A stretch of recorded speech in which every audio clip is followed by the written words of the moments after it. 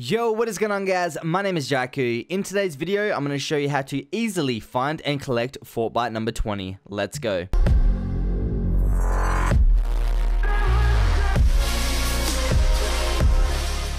Alright, so the description that we get with Fortbyte 20 is found at the center of any of the first three storm circles. Now this is very simple to do on the first storm circle, and the strategy to doing this is once we are in a game and we're in the bus, you just want to take the entire bus flight path. You don't want to jump out. When it kicks you out of the bus, you want to instantly deploy your glider. The reason why is we are going to wait about a minute until we can find out where the first storm circle is. After a minute has passed and the storm circle has revealed itself, bring up your map and have a guess at where the center of that circle is. Once you've guessed where the center is, head towards your marker. As we approach our marker, don't instantly dive down, just glide around, have a look, and you will see the Fortbyte somewhere on the map. Once you've located your Fortbyte, dive down to it, go up and collect it. It should have like a lightning bolt above it, basically telling you that this is the Storm Circle Fortbyte. Once you've collected it, challenge complete. If this video helped you out, make sure to like, comment, and subscribe, and I'll see you guys later.